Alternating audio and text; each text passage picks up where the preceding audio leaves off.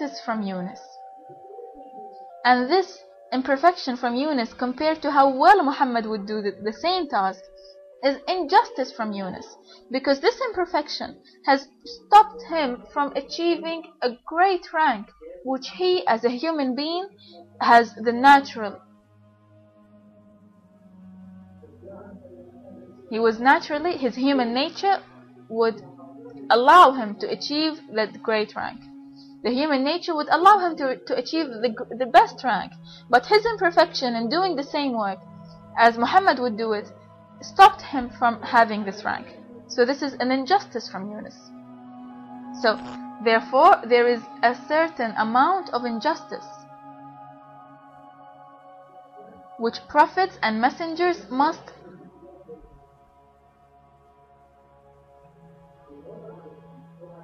prophets and messengers must defeat this injustice from the offspring of Abraham so that they will achieve the position of Imam that is why Allah subhanahu wa ta'ala said that my covenant is not to be given to the unjust. Which means that not all the prophets from your offspring will, will be Imams, Abraham.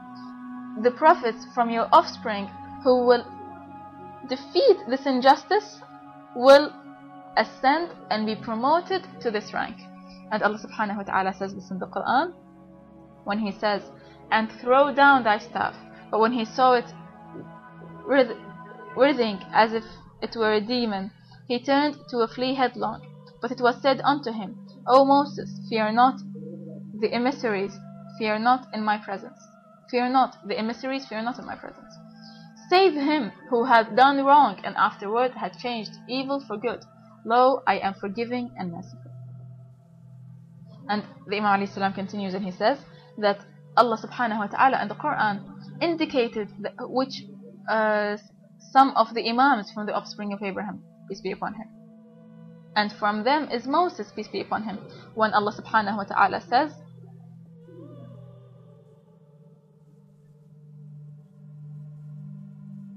And thirst thy hand within thine armpit, it will come forth white without hurt. That will be another token. So he is saying that the hand of uh, Moses will come out white, which means free from injustice free from injustice because the man gives and takes with the hand the man gives and takes with the hand so a white hand refers to the justice of this man with the people and with God subhanahu wa ta'ala and Moses peace be upon him purified himself from the injustice by a high rank just like the verse of Allah subhanahu wa ta'ala when Allah says save him who had done wrong and afterward had changed evil for good. Lo, I am forgiving and merciful. And he says that the Imam continues and he says that from them is Jesus, peace be upon him, and who also Allah subhanahu wa ta'ala said about Jesus that in the Quran, peace be upon me the day I am born and the day I die and the day I am resurrected alive. Jesus, peace be upon him, says in the Quran, peace be upon me the day I was born and the day I die and the day I am resurrected alive. Which means that Jesus, peace be upon him, achieved the rank of an imam because he gives security for himself and to people. He gives security for himself. So he's saying, peace be upon me. He gives security for himself and to people. So Jesus, peace be upon him, achieved the rank of an imam. And Allah subhanahu wa ta'ala also indicates in the Quran to some who, didn't, who did not achieve the rank of an imam, such as the Prophet Yahya, peace be upon him. And Allah subhanahu wa ta'ala says, Peace be upon him the day he is born and the day he dies and the day he is resurrected alive. So that means that Jesus, uh, pardon, that means that Yahya, peace be upon him, did not achieve the rank of an imam so that he would be giving people and giving himself security. He only paved the road for Jesus, peace be upon him, and directed people to Jesus, peace be upon him. So he did not reach, reach the rank of an imam to give himself security. So Allah subhanahu wa ta'ala says in the Quran, peace be upon him the day he is born and the day he dies and the day he is resurrected to life. As to some people saying that Abraham, peace be upon him, was worried about his offspring, if they mean that he was wanting them to be imams as well, that is incorrect. Because Abraham, peace be upon him, was never careful about this world nor about the afterworld. He was never careful about this dunya and this minor world, nor about the afterlife and the akhirah. He was only careful to have the satisfaction of God subhanahu wa ta'ala. So, if a prophet, including Abraham, peace be upon him, prays for his offspring, it is only for the good from the offspring, after the prophets already know that they are good and that they are worshippers of God. And before Abraham, peace be upon him, there was Noah, peace be upon him. He cursed his son after God subhanahu wa ta'ala cursed, cursed him. After he knew that he was astray from the straight path and from the people of hell, he, Noah himself cursed his son. So Abraham and the prophets, they did not carry the burden of their offspring because they were their children. If they, if they did that because they were their children, then they would be on such a high level of their love of their ego and their deviation from the path. God forbid. They're high above that. They are the best creation. They're the elite of God subhanahu wa ta'ala's creation.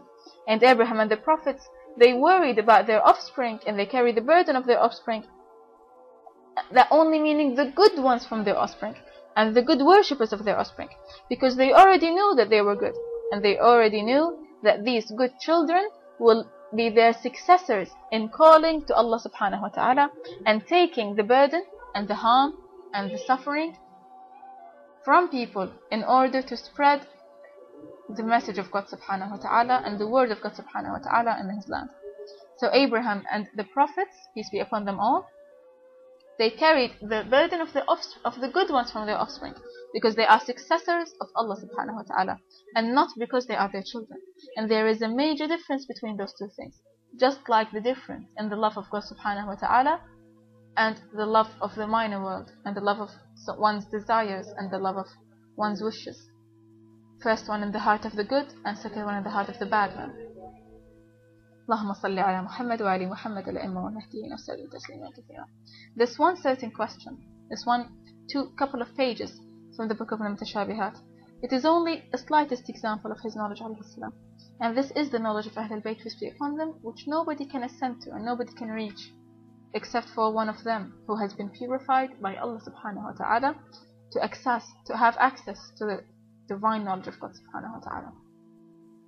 And although one vision enough should be efficient proof and one istikhara enough one istikhara should be sufficient proof and one will should be efficient proof one narration from Ahlul Bayt should be efficient proof one question from Al-Mutashabihat should be efficient proof. And all of these proofs have been gathered in front of people today so that they would recognize the righteousness of Imam alayhi salam. Yet they fail to do that.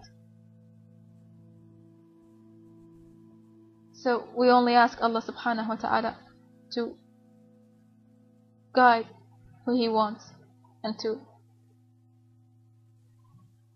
allow us to wash the mud and the dirt off our eyes and of our ears so that we would see the righteousness and that we would hear the righteousness.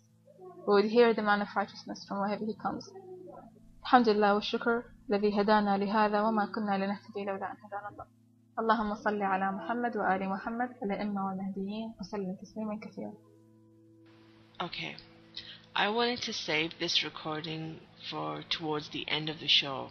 This is the last recording that was um, sent in, and this is truly a Hashem Studios radio exclusive. I got a recording in from Brother Zulfikar. Yeah. Zulfikar, who everyone knows from YouTube, who is huge on YouTube. And I heard him a couple of weeks ago in the Paltalk room. And there was just something about him, and Mo felt it. There was just something about him. I mean, when he speaks, it's like he just drops all this wisdom, you know, all these pearls of wisdom, alhamdulillah. He is a hadith expert, you know, and he's such an amazing, such an amazing brother. You know, when I heard him in the Paltalk room, I quickly raced onto Hashem Studios chat, and I was like, guys, Zulfikar is on the mic. Quickly get there. And so many people raced in just to hear his voice. And um, so now you guys can hear him talk about his experience on a Hashem Studios exclusive. بسم الله الرحمن الرحيم اللهم صل على محمد وآل محمد الأئمة والمهديين وسلم تسليما كثيرا السلام عليكم ورحمة الله وبركاته Yes, my story about how I really embraced the message of Ahmad al-Hasan alayhi salam, the Yamani, the messenger of Imam al-Mahdi alayhi salam. I will start from the very beginning and what things really convinced me of accepting his message. It started like, first of all, I was in Paltalk, and at many a times what I do is discuss with the Shias and, you know, try to deliver the message of Ahlul Bayt salam. And uh, doing such a thing was constant, and I really kept pace with that every day, where I debate Sunnis about Ahlul Bayt and how they must be the ones who we have to follow. And we also have to evaluate the companions. And so we go over such personalities and go over what happened into history. This mainly happened in the Shia original uh, room in Paltalk. And I also had friends over there, many of uh, of the friends, like tens of them. And we basically love to propagate about Ahlul Bayt alayhim salam. So one day in that very room, someone mentioned this cult or this group of people. And these group of people are called the 24s and I asked about them. Like, who would actually think of such a group? The 24s, where they believe in that there are more than one, there's more than one Mahdi. And this idea, of course, came to my attention. And I really felt, you know, just confused. How, uh, from where did they get that idea? And so, you know, the the admin in the room started to tell me, be careful of them, do not enter that room whatsoever. I told myself, why or what restraint is pulling us back from entering their room? Why would it be dangerous when we are absolutely certain of our faith? And so, by the days while I was on Paltalk, I searched under Islam and looked over the rooms, and it was in the morning of uh, Eastern Standard Time in the US. So I looked over and I saw the Savior room.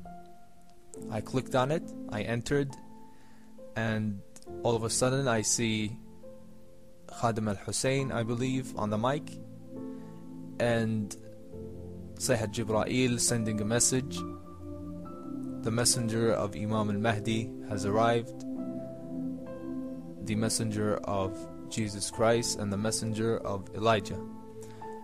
And all of a sudden I got confused like this is something overly exaggerative on just one person. How can he uh, you know be like this messenger of a prophet and a messenger of Imam al-Mahdi. I never heard of such thing.